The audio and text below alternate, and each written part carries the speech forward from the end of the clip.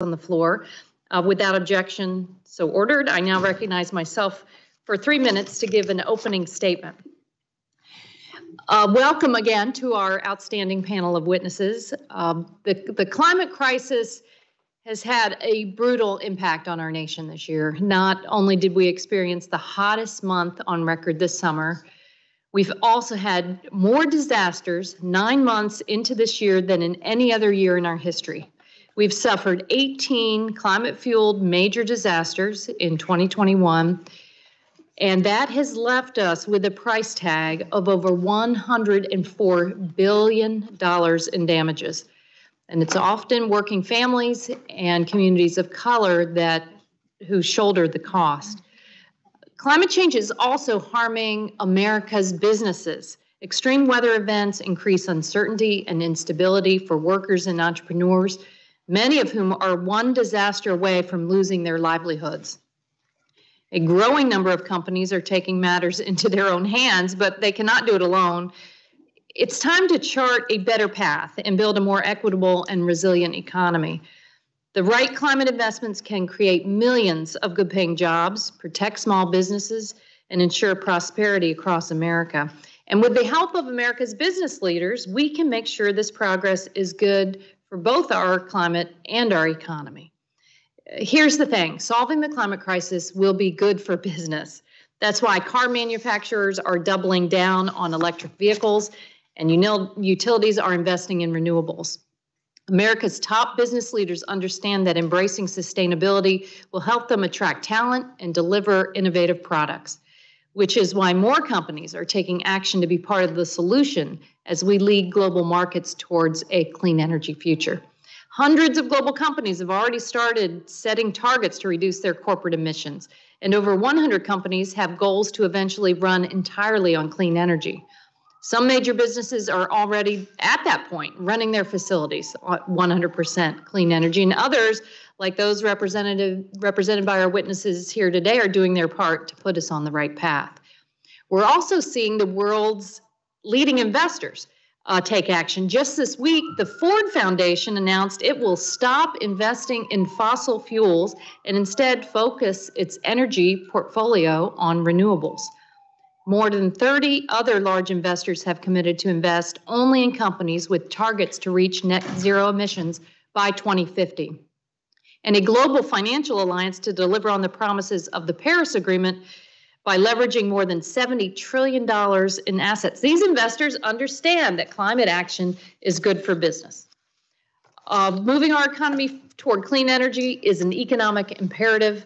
We know climate progress means millions of good paying jobs it also means increased innovation, boosted cost savings, and improved investor confidence. So I look forward to today's discussion. The chair now recognizes the ranking member, Mr. Graves of Louisiana, for an opening statement. Uh, thank you, Madam Chair, and I want to thank you for holding this hearing today and for the witnesses for your participation. Uh, Madam Chair, as we've discussed at many of these hearings, it, it is important that we take action, but it's important that we take action that is that is science-based, that's evidence-based.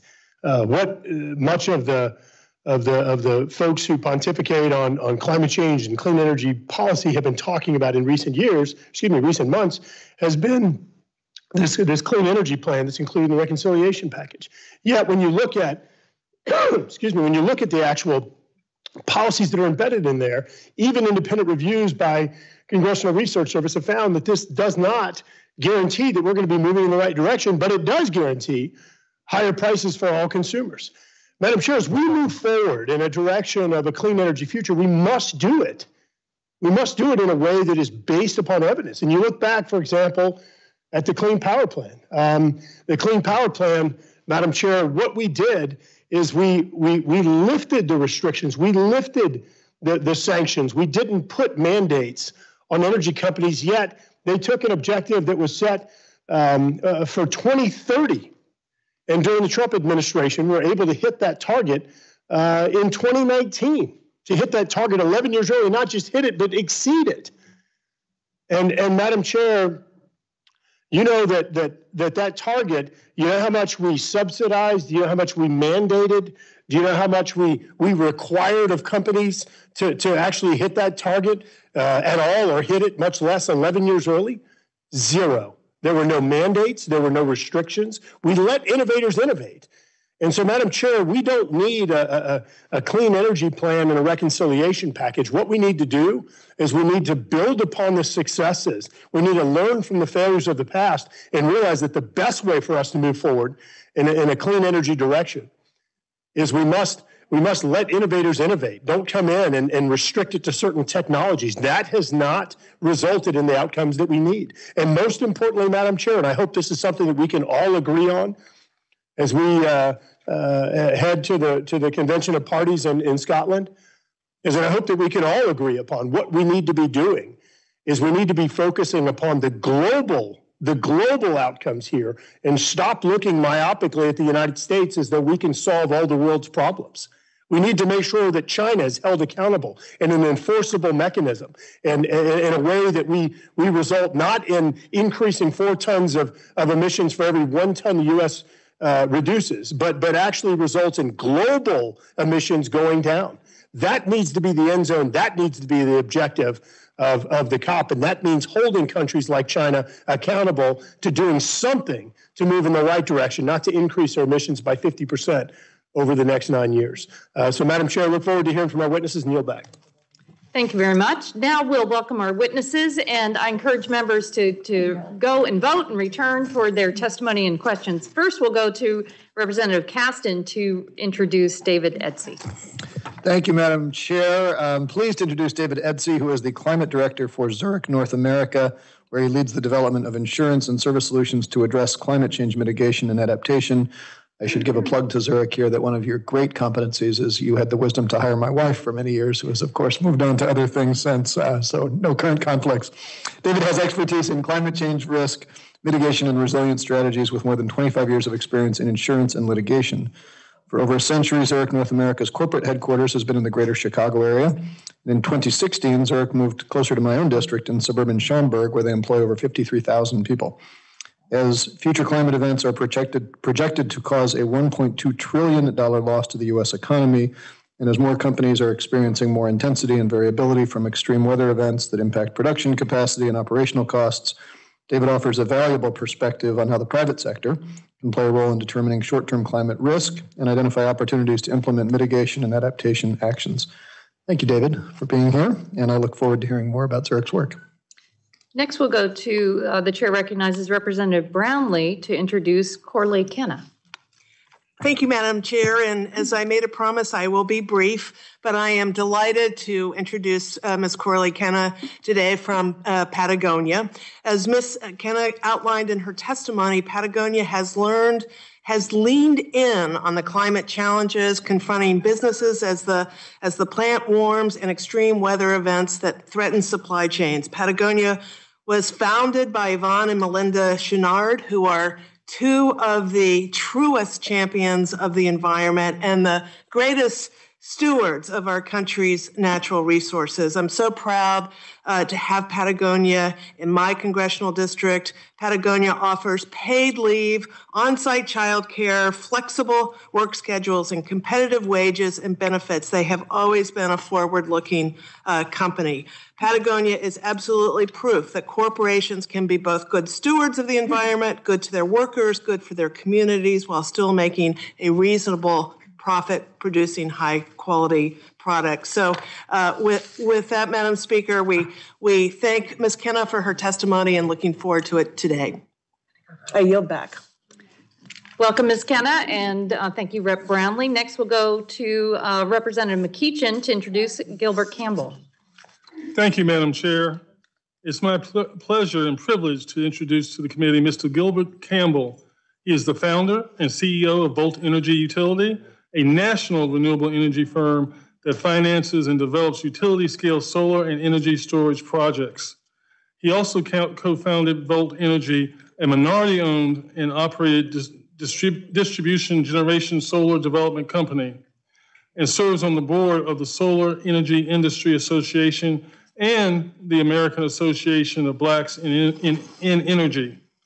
Lastly, but certainly not least, Mr. Campbell received the White House Champions of Change Award from President Obama for his advocacy promoting the inclusion in the clean energy sector and providing STEM education opportunities for young people across the country. Uh, he's received numerous other awards for his work to make the energy sector more equitable and more diverse. Mr. Campbell, my friend, it is good to see you today. Thank you for appearing. I look forward to your testimony. Thank you, uh, thank you, Rep. McEachin. Next, we'll go to Ranking Member Graves to introduce Mark. Uh, Thank you, Madam Chair. Uh, Madam Chair, uh, honored to introduce um, the Honorable Mark Menzies, um, who happens to be from the great state of Louisiana, Hahnville, if I remember right, or at least Hahnville High. Um, uh, what is better than being a graduate of LSU, doing it two times over? He's a, a two times LSU grad. I had the honor of working with um, with with uh, Secretary Menzies on the Energy and Commerce committees. He served as as Chief Energy Counsel for the for the committee, uh, but he went on in, in, advising many private sector clients on elect- energy and electricity policy, and um, served as Deputy Secretary of the Department of Energy. Uh, under the previous administration, and just a fantastic guy, a good friend. And um, when he takes that mask off, you're going to see an amazing resemblance to Henry Winkler, as uh, he looks a lot like um, the Fonz. Well, thank you for that, uh, Ranking Member Graves. Without objection, the witness's written statements will be made part of the record. Uh, Ms. Kenna, we're going to start with you. You are now recognized to, give a five-minute presentation of your testimony.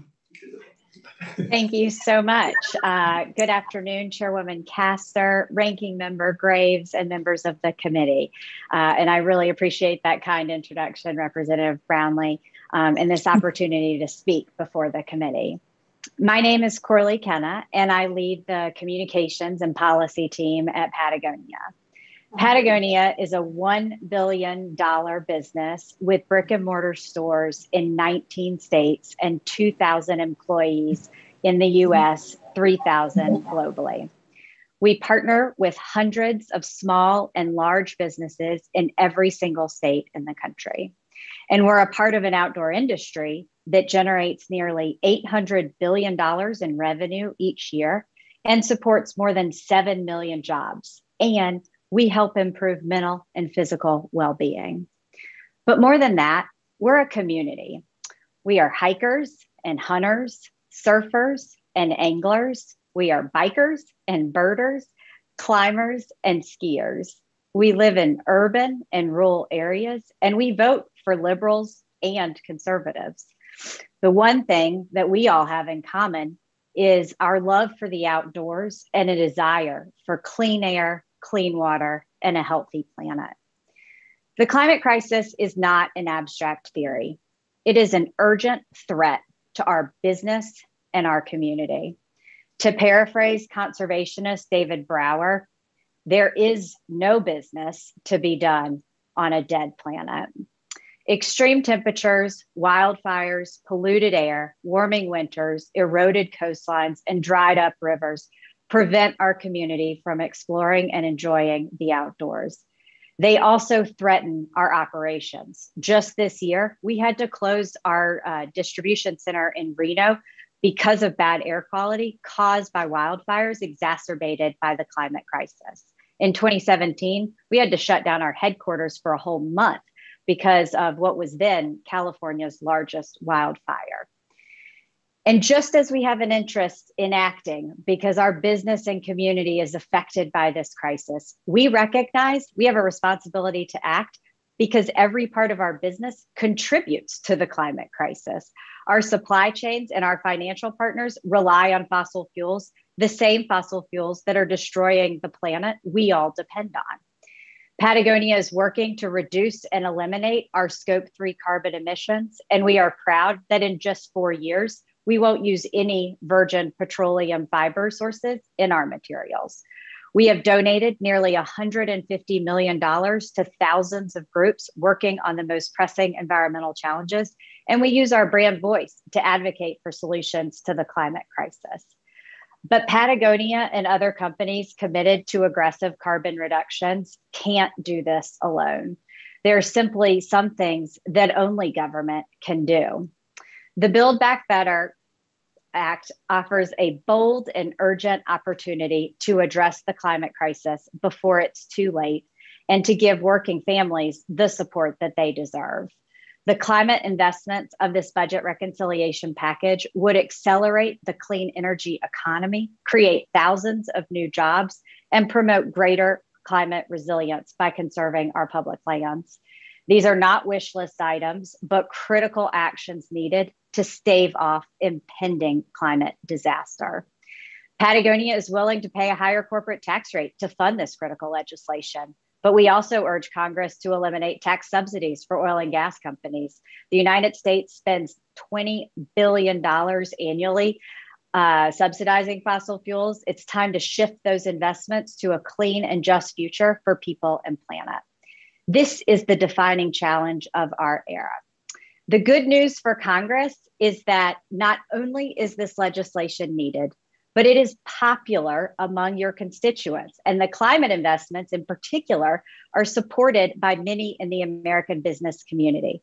Special interests can spend millions of dollars to lobby against the bill, but make no mistake, the American people want to see these game changing investments in our planet and our future. They want to see it happen before it's too late. So, thank you again for this opportunity to testify today, and I look forward to any questions you might have.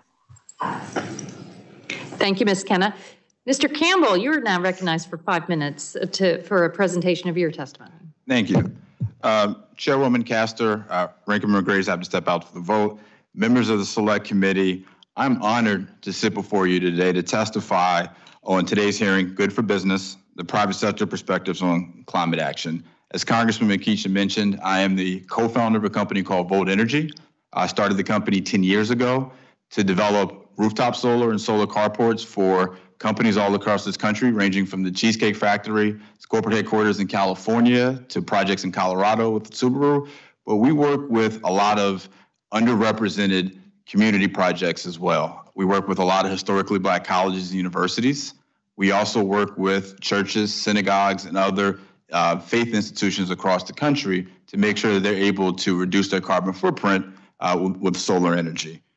I am here today to show why I strongly support the Build Better Act. While I'm a small business owner, um, while I'm here as a small business owner to talk about the financial implications that it's having, the climate disaster is having on businesses, I'm here as a concerned citizen first. Um, I know how divided our nation is on pretty much everything. And I'm an eternal optimist, but I really hope the climate crisis, as it was mentioned earlier, it really is the, the, the opportunity for us to really tackle the biggest crisis our world is facing.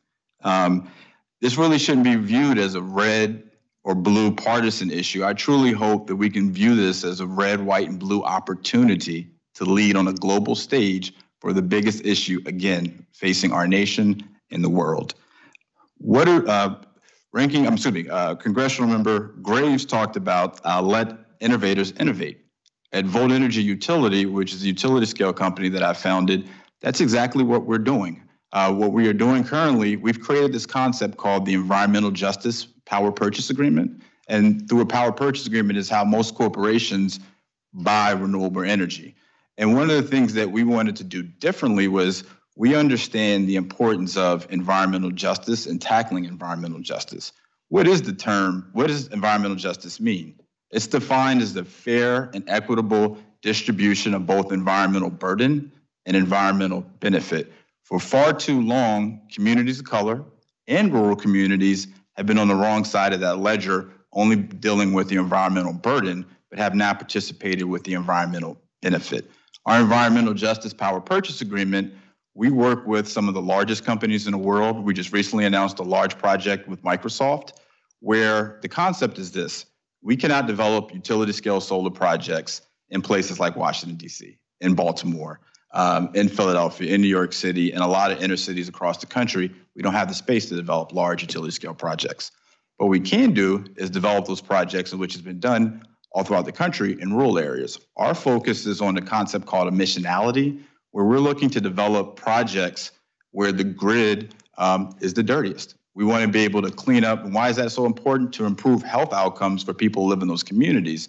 However, we can't lose sight of the other communities, minority communities that have suffered for so long with energy burden and environmental um, injustices. So we are taking a percentage of our revenue in, in partnership with our the corporations we work with to make investments in communities of color to address environmental health, to address economic justice, to create a pipeline of students coming out of HBCUs that will take on these jobs of the future.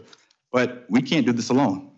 We need the federal government to support the work that we're doing to tackle climate change. This is an effort that can be a public-private partnership and really get us back out. We're coming out of a time in our nation where we're coming out of COVID, an unprecedented uh, pandemic.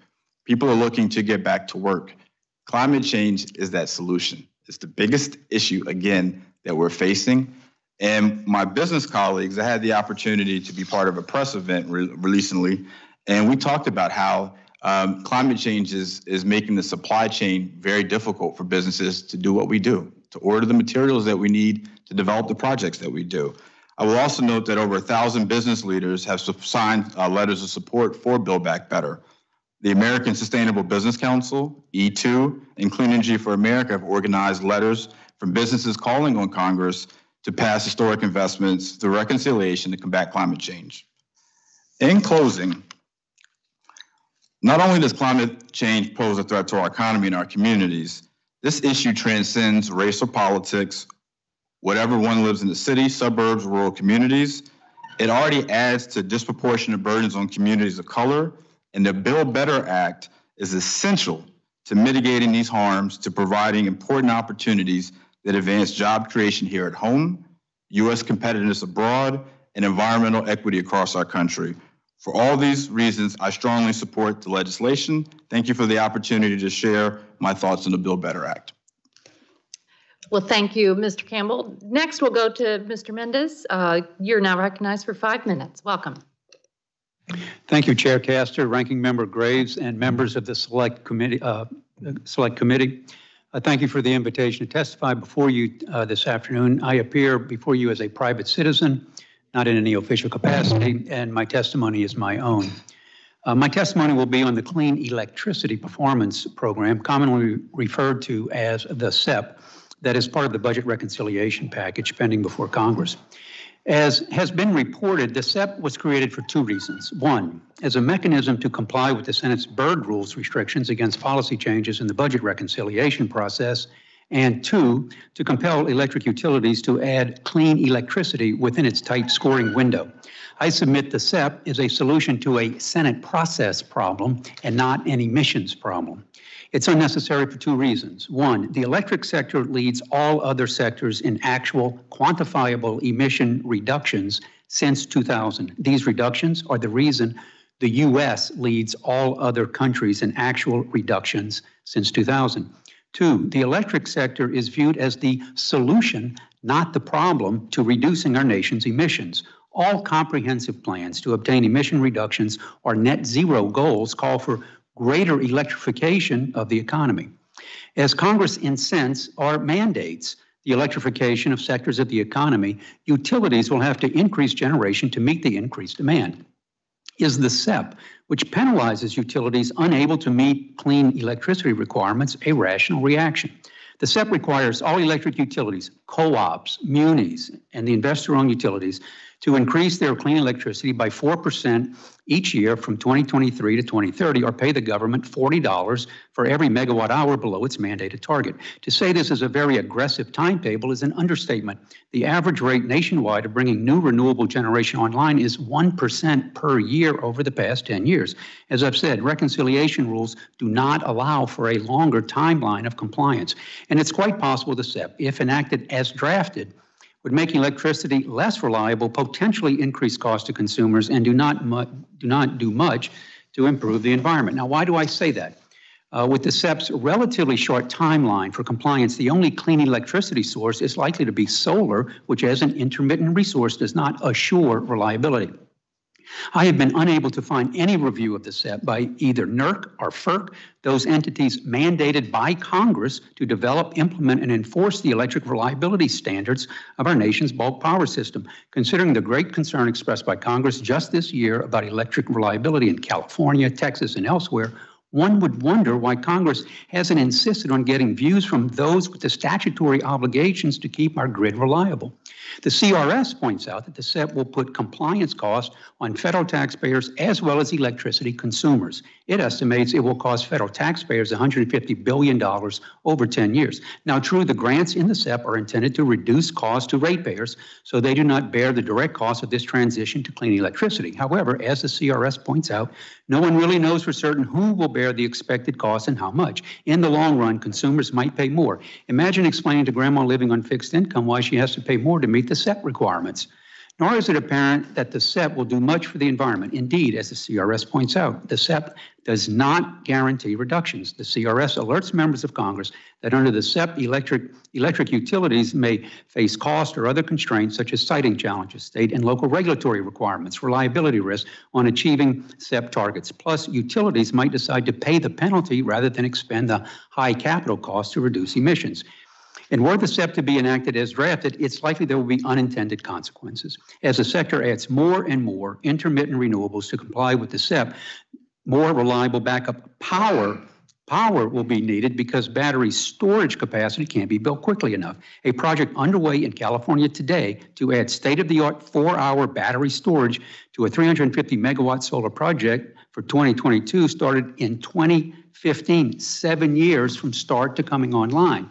Finally, the CEP may very well stop the development of zero emitting nuclear development and CCS deployment. Both nuclear and carbon capture technologies simply cannot be permitted and built in time. What happens to the $4.5 billion Louisiana Clean Energy Complex announced last week by Air Products and the governor of Louisiana to use CCS to capture and permanently sequester 5 million tons of carbon a year? What happens to the small modular nuclear reactors being pursued out west?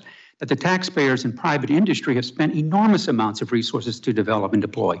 And by the way, the photovoltaics that will cover our landscapes to meet the CEP, very likely buggy technology. Today, our labs have developed disruptive liquid crystalline technologies that could replace today's solar panels with coatings as cheap as paint. You can read about it all in this book. Even John Kerry called this potential that may very well save the earth. Finally, um, all this is not to say there couldn't be improvements to the CEP as drafted. I've offered some suggestions in my written testimony. I thank you and look forward to your questions.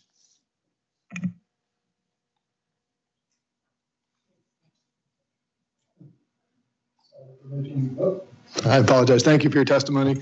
Chair now recognizes Mr. Edsey for your prepared remarks. Thank you. I would like to, to thank Chair Castor, Ranking Member Graves, Congressman Casten for the introduction, and the other members of the committee for inviting me to address you today on this issue of such extreme importance to our entire country and the world.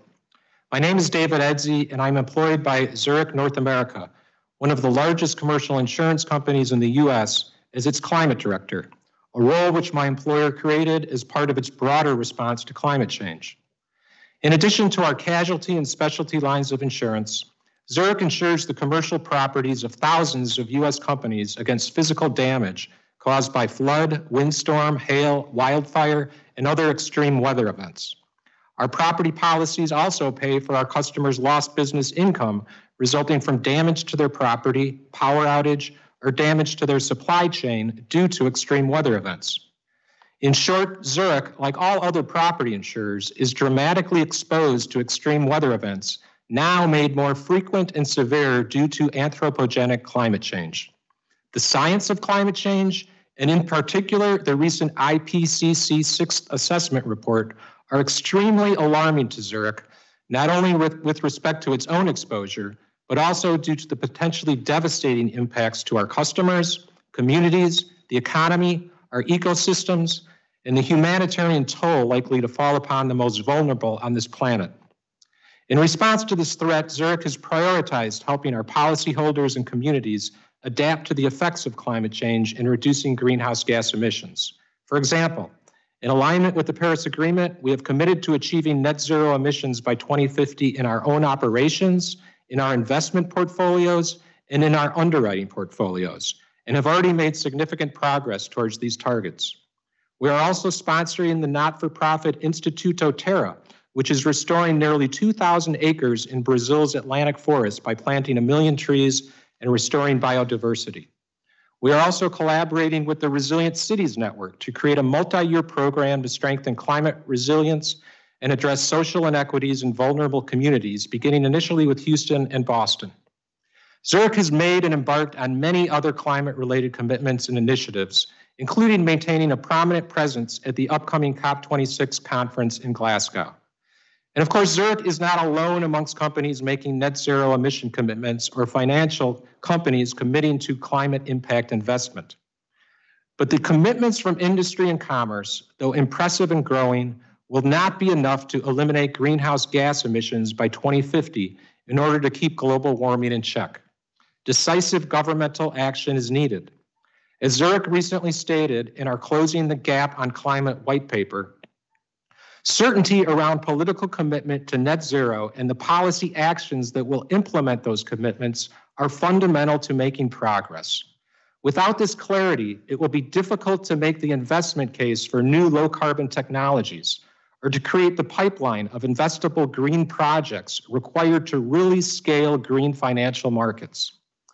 Zurich therefore applauds the important work of all of the members of this committee and its staff in tr- developing recommendations on the policies needed to solve the climate crisis. Transforming our society on the scale required to meet this challenge will be monumental. To align with science to limit global warming to 1.5 degrees Celsius, broad and bold public policies need to be enacted that will enable a reduction of our greenhouse gas emissions by 50% by 2030 and 100% by 2050. And so it is urgent that we put those policies in place now. As Congress considers climate legislation, Zurich supports a clean electricity program, as the foundation of a net zero economy is a clean grid to meet the growing demands of electrified vehicles, buildings, and industries. We further support the extension of tax credits supporting the use of renewable electricity in the purchase of electric vehicles. We also support public investments in EV charging infrastructure, green hydrogen, and carbon capture and storage. Zurich has also long held that a meaningful global price on carbon is the most efficient way to achieve net zero outcomes.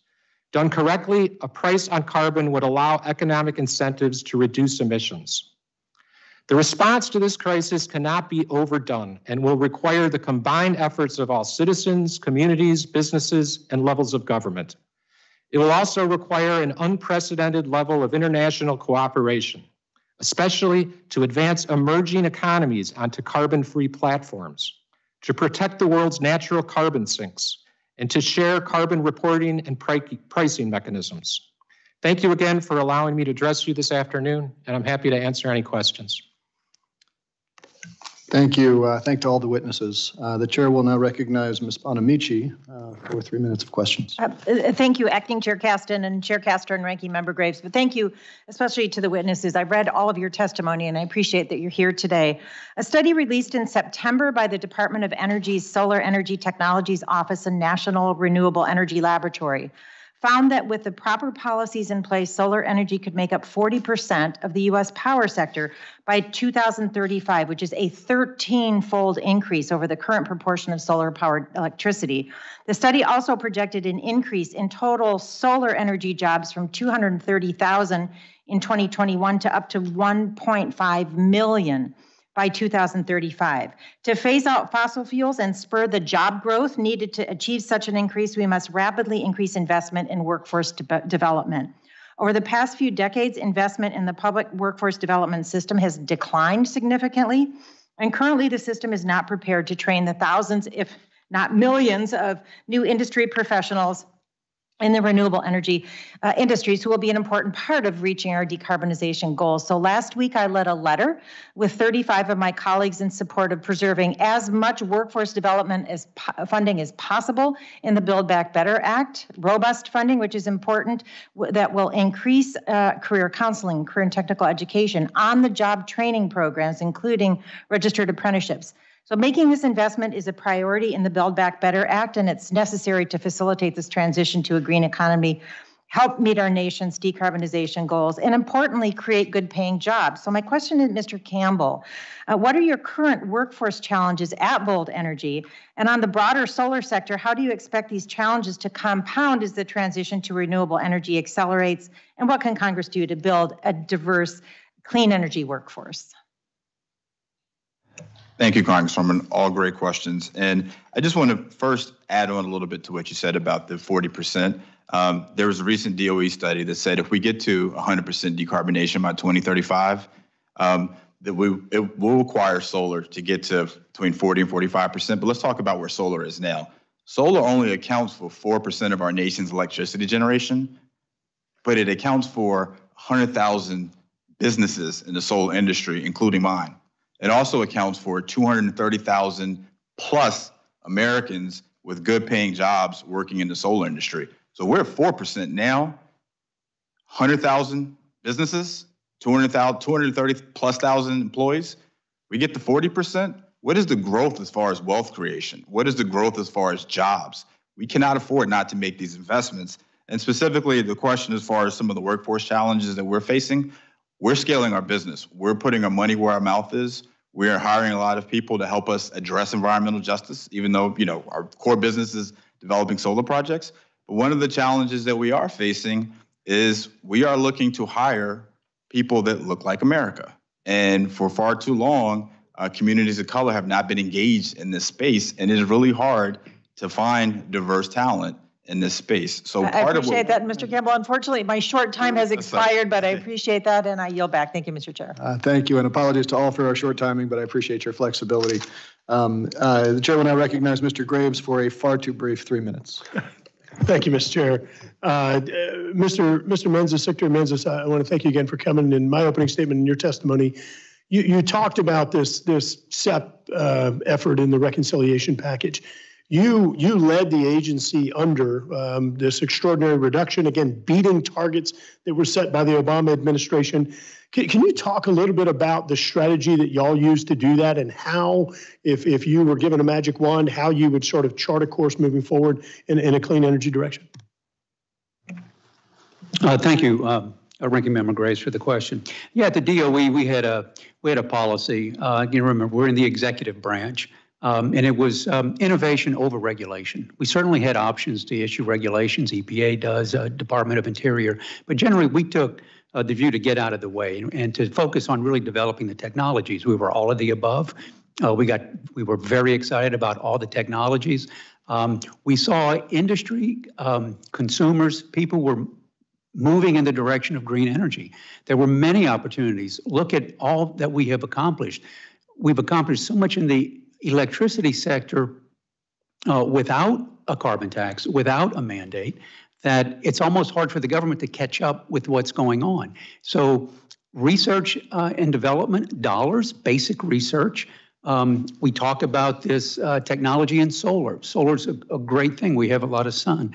The problem that we have, and we got to really focus on, is as much of intermittent renewables we have, whether it's solar, which is fantastic, wind, still you need ramping technology. Now, everybody's saying we got battery technology, and that's why I, referred to what's going on in California. We are building, it's four-hour battery. That's the state of the technology there. So our national labs, indeed universities, everybody is trying to figure out how to get at least 10 hours of battery, and that's that's the challenge. But when we get there, it may be breakthrough technology. It may not be the lithium ions. It may be new technologies, but it's really an exciting opportunity. But we're simply not there yet to be able to, I think, withstand the CEP, which really confines things to a very small uh, window. Yes or no, do you think if the CEP were enacted, it would result in higher energy prices, electricity prices for those uh, making less than 400,000 a year? Well, that's what the CRS seems to be alerting Congress to because we really don't know who's ultimately going to bear the cost. We do know that it's both the, the taxpayers uh, and ratepayers. Thank you. Um, I just have a little bit of time left. Ms. Kenna, I'm, I'm curious, would Patagonia uh, support uh, a, federal certification uh, for no slave labor as a condition of, of federal subsidies as it comes to a clean energy future?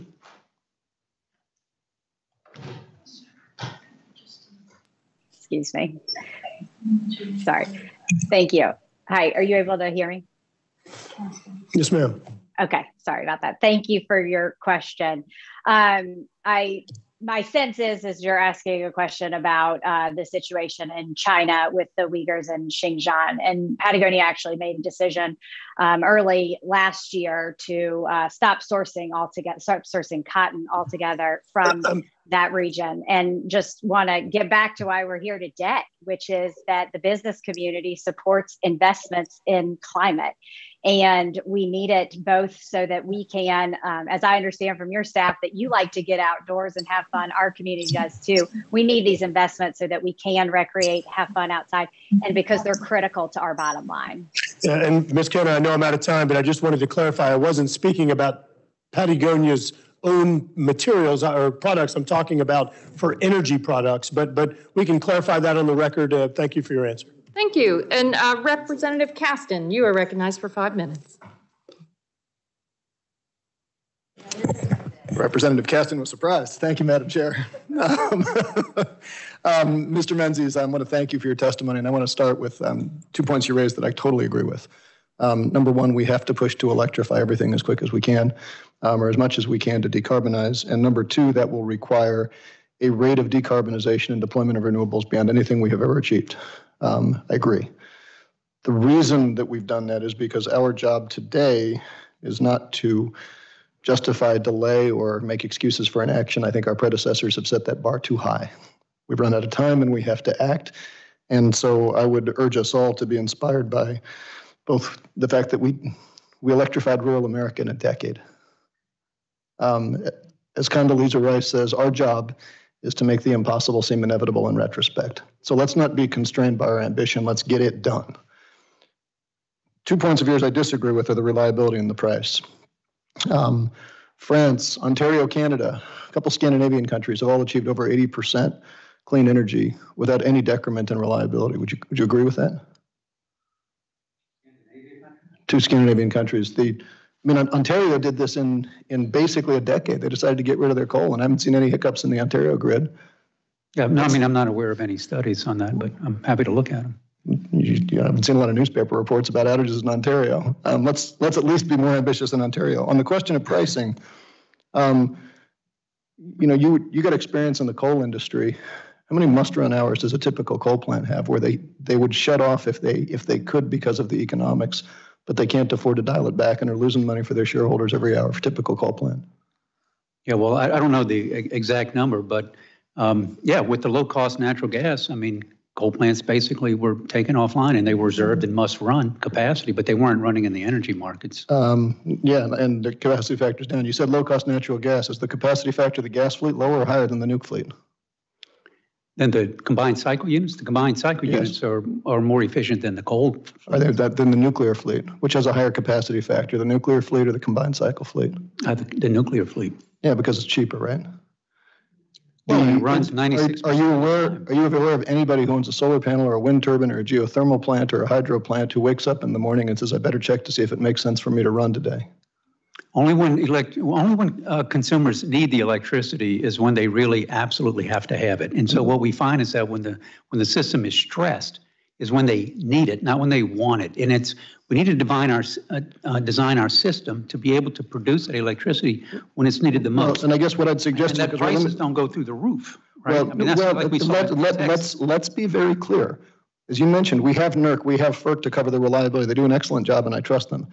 Every time we build a zero carbon energy asset, we build a plant that does not require fossil fuel to run and it has driven down the cost of energy. I know that because that was my entire career and we are on the cusp of the greatest wealth transfer in our history from the energy producing sector to energy consumers. Let's get out of the way and run forward. Thank you and I yield back. Thank you. Rep. Casten yields back. Uh, I don't know if Rep. Gonzalez is on or not. Otherwise, we will go to uh, Rep. Miller. You're recognized for three minutes.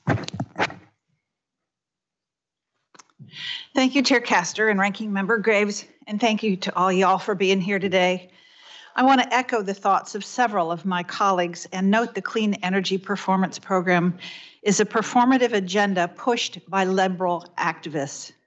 I applaud my colleague, Senator Manchin from my home state of West Virginia, for seeing through what the CEP pretends to offer and understanding that wind and solar energy generation cannot and will not ever have the ability to power our country on its own. CEP, as currently written, would rob investment in these future technologies as only a small sliver of so called renewables would be eligible for these government handouts, incentivizing some technologies and companies over others. I have long been a proponent of an all of the above energy policy that takes into account the necessity to use fossil fuels to ensure Americans have affordable baseload power while continuing to innovate in technologies that bring them closer and closer to carbon neutral. While I appreciate the lofty goals set by many of my colleagues, I often find myself pondering the practicality of implementing their grand visions and have found myself living around communities that have been destroyed by the good intentioned ambitions of government leaders. McDowell County, located in my district of southern West Virginia, is one of those communities. Once a thriving area with a population well over 100,000 people, it was obliterated by former President Obama war on coal. Now there are in the teens, less than 20,000 people that remain in McDowell County, where the costs of their daily lives only continue to rise as out of control inflation continues to take hold and rising gas prices cuts into their paychecks for every mile they now have to drive to jobs in neighboring counties and states. While some of my colleagues on this committee today may see that West Virginia is irrelevant, bless your heart, I would like you to note that our small but mighty state is the fifth largest energy producer, and you're welcome for keeping your lights on this winter. Mr. Menzies, could you briefly explain how enhanced oil recovery works and how this process can create carbon negative oil and gas? Uh, thank you, Congresswoman, for the question. I need. I made reference to the carbon capture technologies that may be at risk if CEP goes uh, into play. Right now, Congress has enacted the 45Q tax credits, and what carbon uh, capture, utilization, and storage um, uh, allows to happen is um, you can take captured carbon and you can uh, push it down into uh, oil fields or formations that have been essentially depleted, or at least what was able to get out of them um, you know, when you first took the oil out. So there's plenty underground uh, in those formations. You take the, the, uh, the captured carbon and you, you pump it down essentially into those wells. And it brings additional oil up. And while it does, some of it stays uh, in. Uh, when it comes up, um, that, that carbon that is with the oil is separated and put back down in. And it's con- constantly recycled so that over time there is more captured carbon that stays down and is permanently sequestered in that oil field than it is in producing um, the barrel of oil. Um, and the emissions are offset uh, over time, then it's basically it, it's a negative uh, emissions um, uh, outcome. Is her time up? Thank you. Thank you, Rebecca. Uh, next, we'll go to Congresswoman Brownley. You're recognized for three minutes. Uh, thank you, Madam Chair. Um, Ms. Kenna, I wanted to ask you a couple of questions. Uh, first is, why should the business community really care about passing climate legislation? Sorry about that. Thank you. Thanks so much for that question. Um, the business community should does care about climate investments and in particular these climate investments because frankly the cost of inaction is not an option. Um, the costs are only going to go up and already we are seeing um, the effects of this climate crisis. It is affecting our ability to enjoy and recreate outside and it is affecting our bottom line and as a business that's part of an $800 billion industry, we need a healthy planet, both so we can get outside and do our business. Well, thank you for that. And you, you mentioned your bottom line, and could you elaborate a little bit more on uh, why a climate investment is important to your bottom line and to others and their bottom line? Absolutely. Um, so, you know, uh, our company is made up of people who like to get outside, and we were founded for that reason. And we're still in business today because we fight for those same places to get outside. Um, as a business that's been also engaged on protecting these places, we know that um, that public lands contribute immensely to the health and economic vitality of local communities, from the ecosystem services of clean water and air to healthy communities for kids and families to the recreation um, and outdoor industry that we're a part of.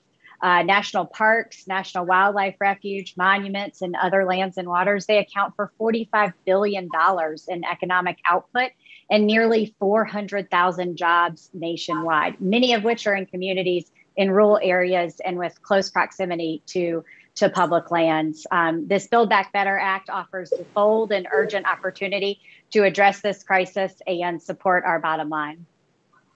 Thank you for that. And I certainly thank Patagonia for their investments in our nation's outdoors, our nation's uh, public lands, um, you, you've certainly played your part. Um, last question, uh, uh, quickly, is um, if you could talk just a little bit about, um, you know, embracing renewable energy in your facilities. Are you? If you are, where are you? If you could talk a little bit about that for a minute. Yeah, great.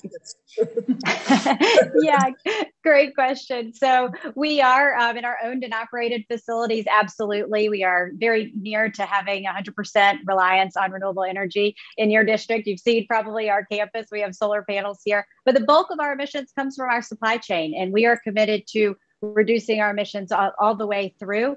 Um, we are also using the whole of business approach to push on um, our community and our policy makers to advance community driven solutions to support a transition to renewable energy and nature based climate solutions.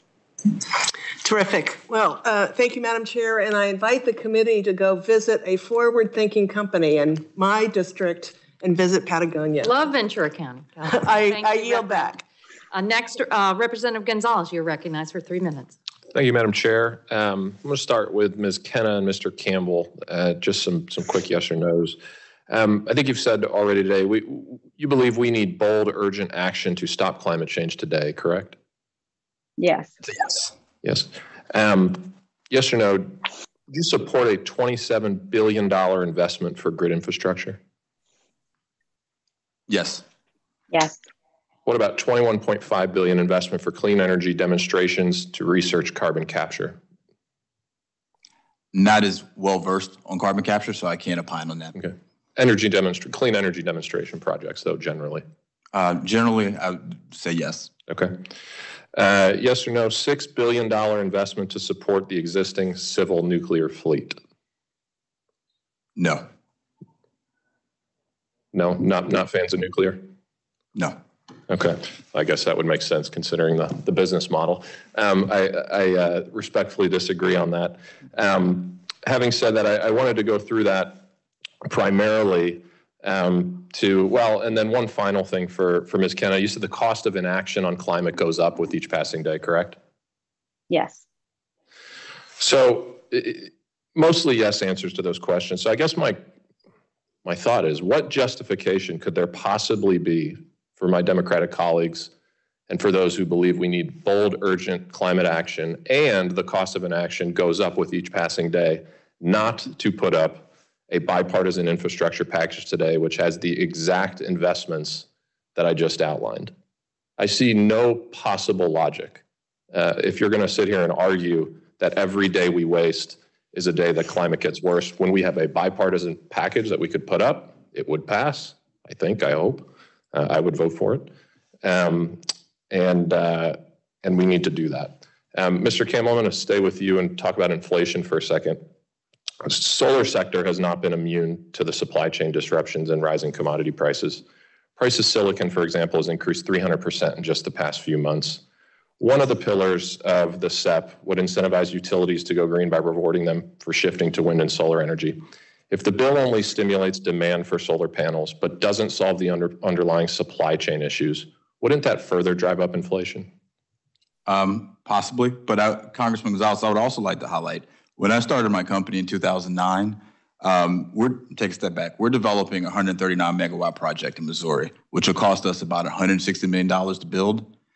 11 years ago, that would have cost us over 900 million dollars to build. So, due to smart climate legislation, Uh, the cost of solar has drastically come down, but like any other industry, we're not immune to inflation. Right, and the raw material silicon, though, that has gone up by 300%, the raw material I, itself. I am not aware of that fact, Congressman. Okay, I, I cite the, the statistics on that.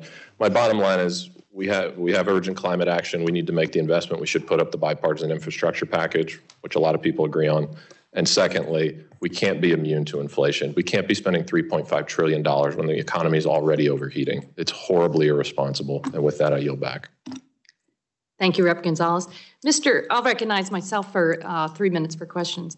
Mr. Edsey, you, you've testified that insurers are increasingly thinking about their exposures um, because we're these these extreme climate fueled weather events are are just coming more frequently. They're more costly, and it's not just insurers. It's it's my neighbors back home in Florida. Our property insurance rates, flood insurance, and people now are connecting it to the climate crisis. So, tell us how federal action would really help us address this this the increasing cost of climate when it comes to insurance rates. Sure. Thank you, Chairman Castor. Thank you. Um, you, you know, we've done studies that uh, every dollar spent on, on building up resiliency saves $5 in, in post uh, event repair work. Um, so certainly any investment that, that from the public sector, from the private sector into fortifying properties against climate change and, and increased flood and increased hurricanes um, are, are going to you know, save money down the line.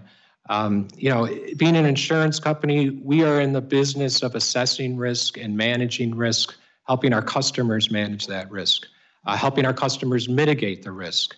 Um, so we take the science of climate change very seriously. And, and so when, when, you look at mitigation, the, the, the efforts that, that we could take uh, as a society in the world in investing in lowering greenhouse gas emissions is going to be the, the, the most valuable investment we can make at this time in order to lessen the, the severe weather uh, effects of climate change in the future. And those costs on businesses and consumers alike.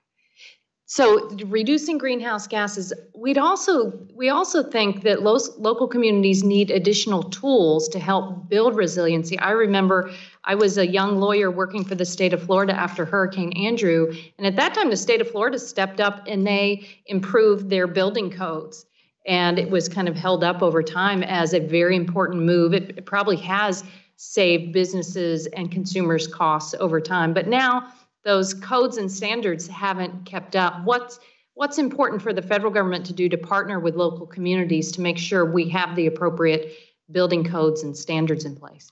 Definitely, whatever the federal government can do to encourage local um, consensus-based, you know, up-to-date standards on building codes is going to help those local communities respond. And in more, more vulnerable areas, um, what should be supported is, is more high hazard risk standards. Um, there's the, the uh, fortified standards and IBHS has uh, fortified standards um, to, to fortify against wildfires and flood. Well, thank you very much. Uh, thank you for putting up with us today on the in and outs, and I want to thank all of the members for being very efficient. Are there any members who have not had an opportunity to ask a question today? Terrific. Well, I want to thank all of our witnesses. Escobar's going to be on Zoom shortly, so if you want to. If we can, uh, if you can, you could go. Quick question? Yeah. Why don't we, since Rep. Escobar is coming back from the vote, and Mr. Carter is going to, to come on in just a second, uh, Rep. Bonamici, I'll recognize you for three minutes for an additional question. Uh, thank you, Madam Chair. And I, I really, well, again, want to thank you all for being here today. And I want to ask uh, Ms. Kenna a question. Uh, I represent a, a, district in the Pacific Northwest, and the outdoor recreation industries are, are very, very uh, important to our quality of life and to our economy. So I wanted to ask you, Ms. Kenna, in sort of general terms, how has the climate crisis uh, affected your, uh, your, your business, but also uh, once we get on this path to a clean energy economy and address the climate crisis, how will that positively uh, affect your business? Thank you. Yeah. Thank you so much for, for that question. I had the pleasure this past weekend of uh, spending some time with some of the ambassadors, the athletes in our communities. These are world class bikers and skiers and cli- climbers, anglers. And they report um, with each year, they are seeing these effects of the climate crisis more and more. And so that that's part of our community. And then, of course, there's our bottom line. And how we operate our business, our supply chain, our distribution center, and our headquarters. As I mentioned in my testimony, we've had to shut down our Reno distribution center several times this year already because of smoky skies from these really severe wildfires. In 2017, our headquarters here in Ventura um, had to shut down for a month. And uh, that was a fire that was here on our campus um, the the time it was the largest one since, and I believe each year since then we've seen bigger and bigger fires. Um, so without a doubt, this is having an effect on our business and on our community. Thank you. And I, I just want to note that you know last year we had the horrific wildfires and smoke. This year we had the heat dome where more than 100 people lost their lives in Oregon because of the extreme heat. And I was recently hiking at Mount Hood and I've never seen it uh, more brown. Uh, usually there's snow there and skiing year round. That's not happening now uh, because uh, the temperatures are so high uh, and, and the heat. So thank you so much for your, your testimony and I yield back. Thank you, Madam Chair. Thank you, uh, Rep. Bonamici. Next, we'll go to Rep. Gonzalez for a second round of questions. Thank you. Um, I want to start with uh, Ms. Kenna again and, and just talk about the nuclear point a, a, a little bit more. Um, Patagonia thrives and, and, is built around the notion that we should all be able to enjoy the outdoors. We should all be able to enjoy the natural habitat. I'm a customer of yours. I, I love your products um, and, uh, and appreciate that mission, and I share it. Um, that being said, the opposition to nuclear strikes me as somewhat misguided. I guess I'd like to hear your thoughts on it more given that we know for sure that if we put solar and wind all over the country, that there is a natural habitat destruction and a biodiversity problem that you just can't get away from, as far as I know. But I'm curious for your thoughts on that because my view is that nuclear actually allows you to solve for that. Now, the cost of nuclear is too high. We need, uh, there's a lot we need to do to improve our nuclear infrastructure. I'm working on a lot of those things in a bipartisan way with many of my colleagues. But I'd love to hear from you why Patagonia would be against nuclear, given what we know about the biodiversity challenges associated with solar and wind. Yeah. Thank you, Congressman. It's a, it's a great question. And also, thanks for being a customer. We, we appreciate that. Um, so you're right. Uh, we, we do have a lot of concerns about nuclear, and I am not a nuclear expert. But what I do know is that the waste associated with nuclear is incredibly problematic, and we don't have a solution for it. So that is why we are pushing for investments in wind and solar. And you're right, we need to be mindful about where we are putting windmills and solar fields. And um, it's our point of view, our perspective, uh, that we should take advantage of underutilized areas. Um, brownfields and landfills, for instance, would make for great locations for wind and solar. Thank you again for the question. Yeah, thanks for clarifying. Respectfully, I, I'm personally more concerned about the biodiversity challenges associated with wind and solar, sorry, yeah, wind and solar I the waste issues associated with nuclear. I think the nuclear waste issues are, are much more solvable uh, and frankly have moved a lot further. Um, I just don't know how you throw up solar panels all over the country without destroying the natural habitat. And that concerns me greatly uh, as somebody who, who loves the outdoors, who's passionate about climate, uh, and wants to see my kids, my grandkids have the opportunities to enjoy the outdoors in the same way that, that you and I have um, yeah. for, for much of our lives. So with that, I, I thank you for clarifying and I yield back. I commend the gentleman for finishing under time. I think that's a first here on this three-minute panel. Uh, the chair uh, will now recognize uh, Ms. Escobar on the uh, on the TV screen. Thank you so much, uh, Mr. Chairman. Um, really appreciate all of our witnesses who are here today sharing their expertise. And I will be as brief as I can in my question. But first, some quick context. Um, we know that uh, the federal government alone, nor the private sector alone can do this. We have to achieve um, a, a place where we are saving our planet together. That includes consumers, individuals, local governments, you name it.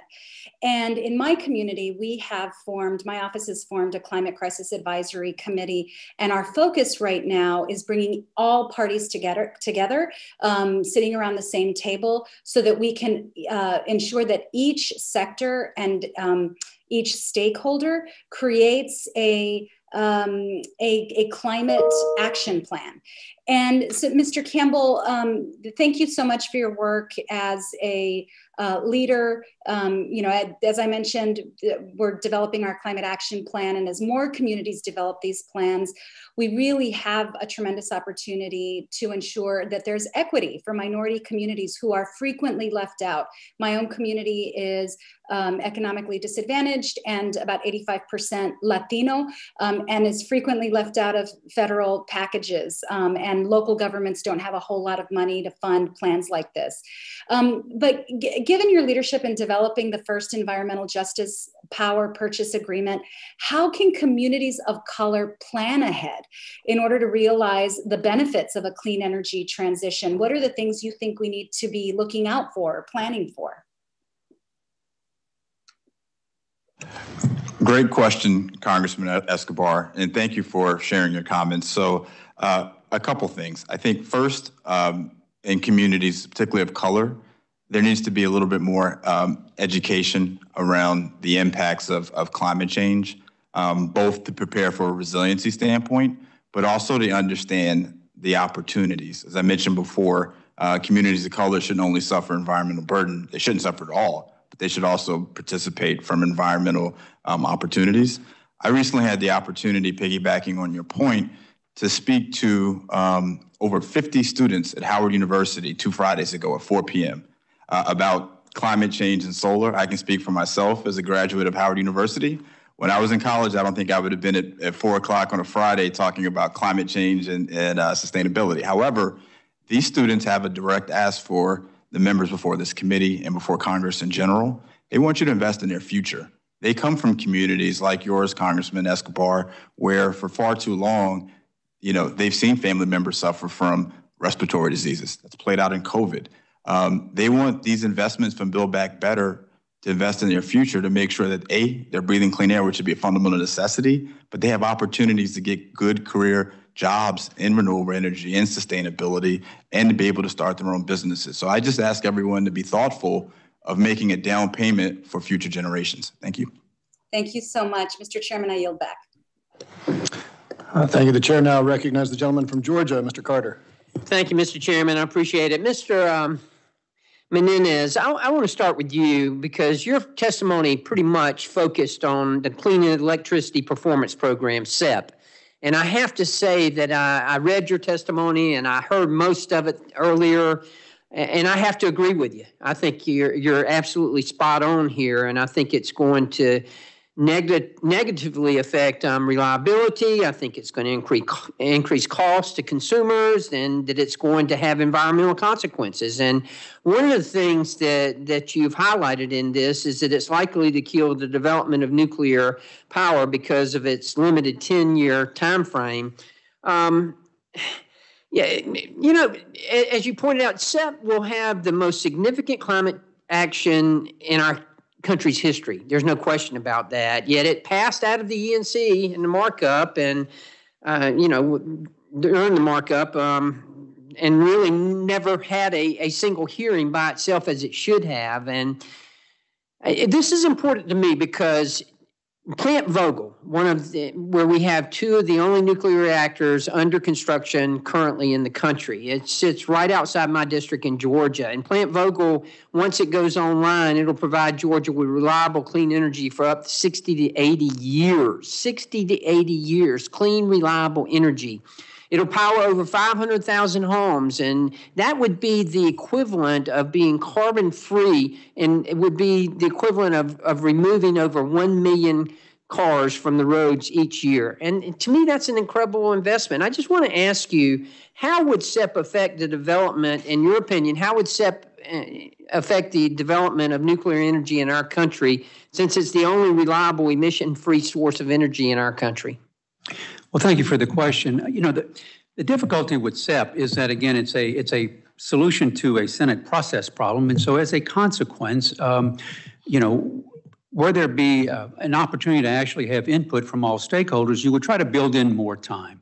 Think about um, by by having to comply with this within that budget scoring window, you are you are basically picking winners and losers.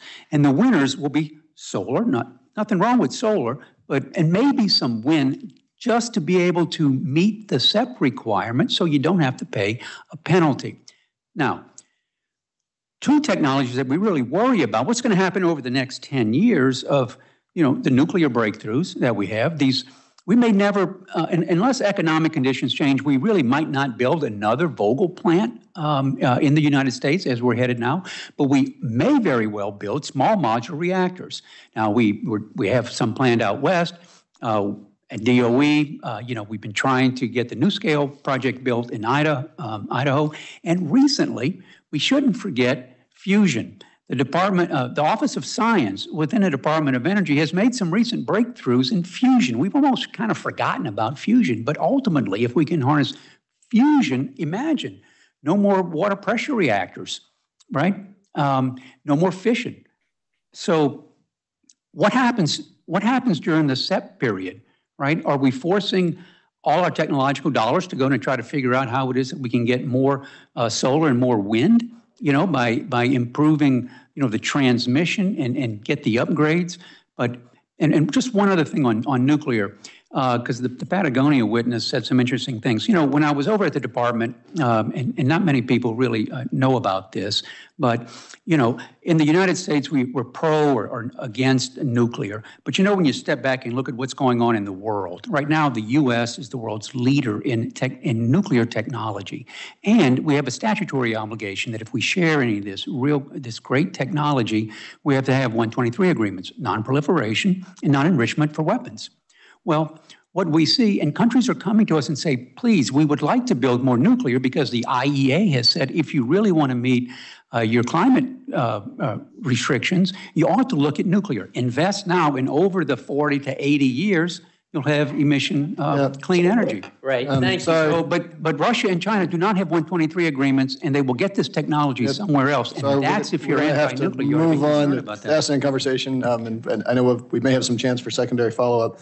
Um, uh, Mr. Graves, I think you are now up for a secondary round of questions, should you have any. Great, thank you. Uh, Ms. Kenna, I want to clarify my question earlier because I think we, we crossed wires a little bit. I was specifically asking about, do you believe that, that if we provide federal energy subsidies to companies such as uh, solar uh, energy, wind energy, that they should have to abide by uh, a certification of, of no slave labor as a condition for being eligible for those funds. I apologize if if uh, if that didn't come across the right way. No, that's okay. And, and thank you for clarifying. I, I, think I'll stick to what I know here, which is our own supply chain, though. And I'm glad to get back to you on that. But um, I, certainly with our with our own supply chain, we have taken a very strong stance against slave labor um, and work very hard to ensure that we keep up to that commitment. Do I need to close out? Um, thank you. And and look, I, I, think I've easily got thousands of dollars worth of worth of y'all's products. Um, having spent a lot of time uh, leading wilderness trips for for many years, um, but but I also I want to be clear that, I, that I've been very disappointed in seeing the companies stepping out into areas just like you said. You said staying in your lane, and and watching Patagonia step out there in areas where I think they have no expertise. Um, for example, the comment about nuclear. Um, uh, you know, when California recently shut down the nuclear power plant, they had to send a letter requesting that they be allowed to violate their emissions uh, standards because they're going to have to produce electricity from energy. Uh, United States has the uh, one of the cleanest uh, natural gas sources in the world. Uh, we have reduced emissions better than any other country in the world and better than the next 12 emissions reducing countries because of our transition to natural gas under a tight regulatory regime. And so I, I do think that we need to be very thoughtful about how to proceed in a global direction that results in, in downward emissions. Um, Mr. Menzies, I, I want to ask um, with, with, all of your experience in, in energy policy, um, are you aware of any recommendations that existed prior to a couple of months ago that, that, that mirror uh, the, the CEP? No, as I put in my testimony, you know, there, there have been recommendations, a task force looking at this to Congress, some 700 recommendations. The CEP uh, was not involved in that. Um, I happen to have, um, this is a great Bible, uh, certainly for lawyers interested in trying to decarbonize, uh, to develop policies, legal pathways to deep, deep carbonization in Is the there a United Cliff Note States. version? It's over. It's, there's no nutshell version of this, uh, as I remind my students.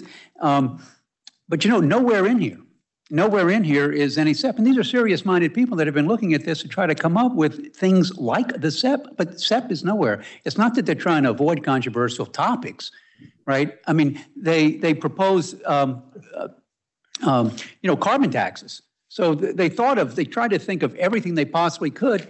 And I've looked at this thing and I've shaken it up and down and I just can't find the CEP anywhere in there. So again, as I said, now, as a former staffer, if we were in a room and the members said, you've got bucket, uh, bucket re- uh, budget reconciliation that you have to deal with, well, we know we have a limited window to divine something that has to raise uh, income. It's got to be fees because we don't have jurisdiction over taxes. We're not ways and means.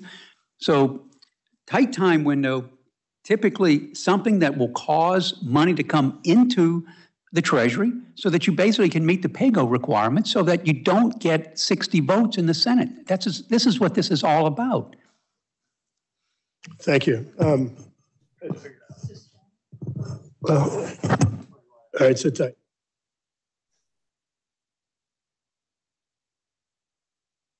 Um, I'd like to ask the rest of you, just while we're waiting on additional members to come, I know we've covered a lot of ground over the past uh, hour or so.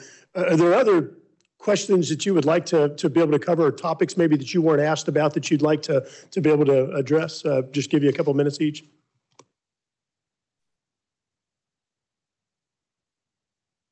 Mr. Ritz. Thank you, Member Graves.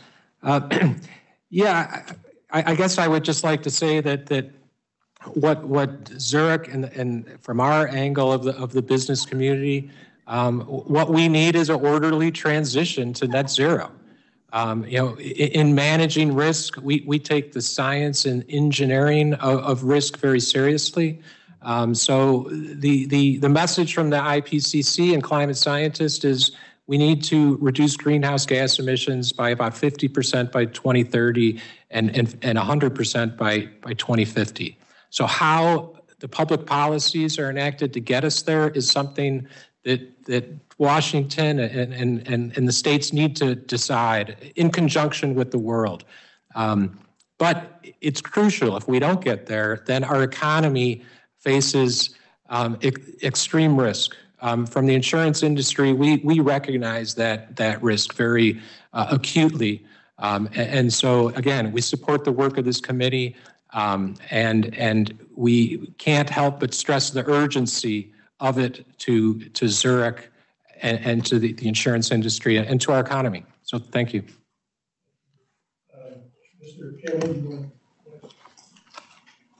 Sure. And uh, I'd like to answer one of the questions you mentioned earlier um, as well. So our company has signed a pledge uh, as part of the Solar Energy Industries Association not to work with forced labor. Um, and I'll just I'll just say this again. Um, Chairwoman Castor mentioned this earlier. In the nine months this year, we've spent over $100 billion after disaster after disaster. I don't have, I mean, the wildfires in the West, hurricane after hurricane in the Gulf, you know, flooding in, in you know, in the Mid Atlantic here in the Northeast. But let's just take a step back. We're at an interesting time in our nation's history. The business community supports clean energy. I was on a conference call today. Um, I'm a board member of the Renewable Energy, Renewable Energy Buyers Alliance. We've set forth a new goal of 90% fo- focusing on some of the largest companies in the world from all industries, getting to 90% decarbonization by 2030 of the power sector. We also have a great opportunity, and this bill allows for that as well, too, to decarbonize our transportation sector. We go back and look at, you know, we've talked a lot about underserved minority communities. Well, guess what the biggest form of carbon emission is in those communities? It's the transportation sector. And we have the opportunity to look at, you know, putting EVs, uh, charging stations all across this country. And America has really smart businesses. And these smart businesses, particularly automobile manufacturers, are making significant investments in electric vehicles. Almost every car I can think about is going to be have some form of an electric vehicle in the future. And I'll just say lastly, We also have the opportunity to electrify our buildings, federal buildings, commercial buildings, residential buildings across this country. So I just hope that we all um, recognize that we can no longer afford to pay inaction um, for all the events that have happened, but we have an opportunity to really grow our economy and, and really prepare ourselves for the, um, the infrastructure that's needed of the future. So thank you. Ms. Kenna? Yeah, thanks for the opportunity. Um, I'll just uh, want to highlight what the my panelists have already said and and just reinforce this idea that the, the cost of inaction now is um, far greater than any of the investments on the table. Additionally, um, we haven't talked about it a lot today, but one of the things that's on the table here that we feel really strongly about is this civilian climate corps, which we think would really create new job opportunities in rapidly growing clean energy, ecosystem restoration, and recreation, restoration and recreation industries for both urban centers and rural communities. And while at the same time, it will inspire a new generation of conservationists and healthy outdoor recreation enthusiasts. Thank you. Um, Mr. Menzies? Yeah, sure. I have something I'd like to talk about.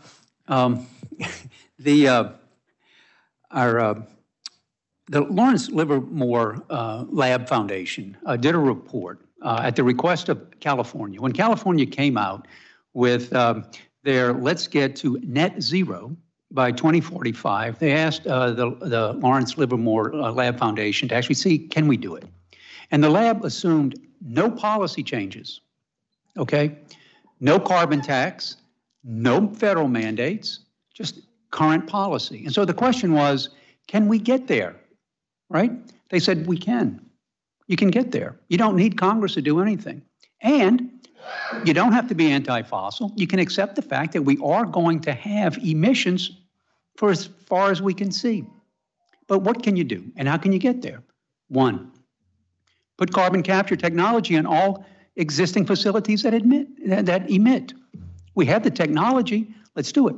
Can Congress incent that? Sure, they can do that. You capture it. Now you got to build pipelines. California has a lot of permanent places to sequester. So they were able to do that. Two, land management, right? Manage your forest, manage your, uh, your biomass, and guess what? You can make renewable biofuels and you can help reduce the emissions in the transportation sector, okay? Um, um, so, uh, and then finally they looked at everything and they said, you know, with all these reductions, we still need one more thing. We can't quite get there. But you know we have? We have direct air capture technologies. We have direct air capture technologies that can actually pull CO2 right out of the air. We have the technology today. So, and, and Congress has been incenting uh, direct air capture. So together, we have the means to be able to get to the goals uh, that we want. We don't have to have things like this. We just don't have to come up with these things.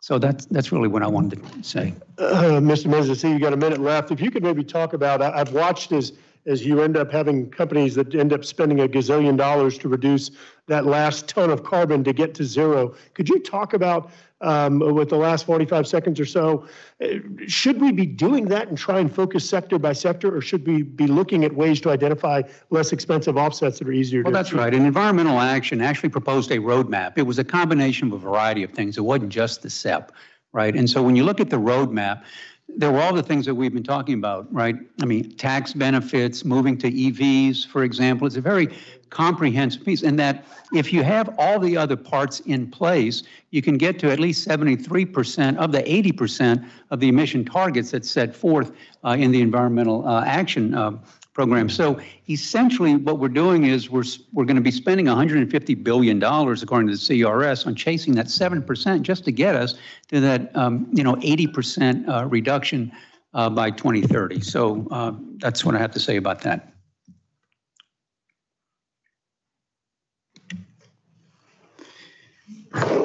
I thank the gentleman um, for his questions. I will now recognize myself for uh, uh, questions. Um, Mr. Kenna, uh, a recent study found that the Clean Electricity Performance Program is being proposed as part of the Democrat reconciliation bill would result in a 45% increase in electricity prices by 2031 Arizona and a nearly 90% increase from 2019 rates if the Palo Verde nuclear plant were to cease operation. Uh, this level rate hike would, would have low income and fixed income seniors struggling to pay their uh, bills to keep the houses warm in the winter. Uh, is it your company's hope by supporting this bill, low income families and fixed income seniors will buy Patagonia jackets to stay warm when they cannot afford to heat their home? Thank you, uh, Congressman. Um, look, I at the end of the day, we are concerned about the economy and we are concerned about the planet. And the oil and gas markets are volatile by nature, and as are their prices. And we think one way to avoid this volatility is to expedite the transition to clean energy, uh, which we think is wind and solar, and uh, and to protect our public lands and to cultivate these na- natural climate solutions. Would you like to see the transition uh, to uh, renewable energy similar to what they've done in the UK? Or Europe? Our, I mean, our our interest here is in clean water and no, clean I'm air asking and a healthy if you're, planet. no, if you're really interested in it, then you've kept up with what's going on around the world. Do you recommend that we transition to renewable energy like they have in Europe and, and particularly in the United Kingdom? It's a simple yes or no, or either you don't know. I, look, I think the United States has an opportunity to be Now, let me tell you, you're, I you're, do. you've been, I you've really been do. coached to filibuster the, the answer, and I'll just tell you, if we transition to renewables the way the UK has, uh, last winter, they, they had 3,000 people die because they couldn't afford to keep their homes warm enough. And uh, that's where we'd head with this. We're already talking about a 40% increase in uh, household utility costs just in the United States. And that's going to be particularly problematic, uh, Mr. Menzies, uh, uh, in, in certain parts of the country. I'd like for you to comment on that. Do you think we should transition like the UK and Europe has? Well, just from the energy point of view, I mean, just what happened, um, you know, last month, right? So the UK has embraced wind. They've uh, they get 25% of their energy from wind. It's a great thing. Um, it when it runs, it tends to be uh, cheaper. They've saved a lot of money. Uh, sometimes it produces too much that they can use. But you know, when they again, and I mentioned this earlier in a question, uh, when you need the electricity uh, is when you want it, right? So you have to have it. So when the wind stopped blowing uh, last month, um, you saw natural gas prices spike. Uh, they had to import natural gas from Russia and the United States, so that was a good thing. Um, but they had to uh, take uh, run uh, run a coal plant that had been closed due to anti-fossil uh, policies uh, that are there in Europe and in the UK. So again, as I've mentioned earlier, we we have to develop, you know, the the battery technology or the storage technology to be able to be there when the wind stops blowing and when the sun stops shining. We haven't gotten there yet from a technological point of view. We're not against renewables, but renewables from an engineering perspective, and I worked for two international engineering companies in a previous career, uh, we, we're not there um, for being able to, to um, convert to renewables because our, our grid's a patchwork grid. It depends on a consistent base load. That's not going to happen. I also want to point out that uh, if we can't go to next generation nuclear, if we uh, can't go to maybe more dependence on natural gas, that it's going to have an enormously negative impact on, on low income people around the world. There's projections that approximately, uh, because of the, of the energy crisis right now, that there's uh, about 4 billion people who don't have access to cleaner energy. They're cooking their food using wood or, or animal dung, cow dung, um, other combustible materials which they use inside their homes. Are about 4 billion people whose life uh, expectancy is much shorter because of that.